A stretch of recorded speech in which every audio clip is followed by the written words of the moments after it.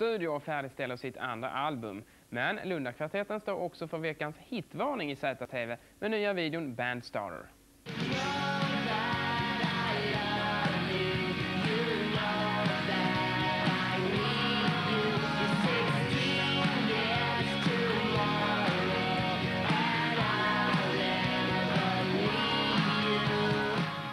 Det handlar kanske om hur, lite om hur vi själva var, jag, jag, jag och David, när vi var 16, 15, 16 och ville vara jävligt tuffa och hårda och skriva om, eh, om eh, långa kärleksnätter med farliga damer och sådär fast vi själva inte hade gjort någonting alls.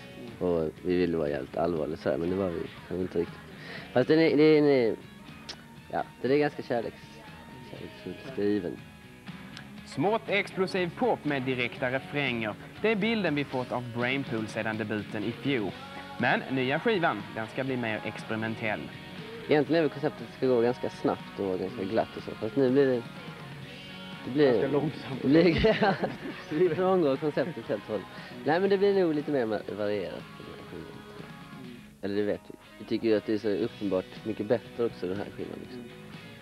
Eh, och liksom mycket mer som vi vill ha den. Även om vi, vi liksom ville ha för som den blev liksom så, så har vi liksom hade det känts liksom som att fan liksom hur fan ska vi göra nu? Men allt har liksom varit jävligt naturligt och, så därför så tycker vi bara att liksom, det är ingen, ingen risk att det skulle gå dåligt.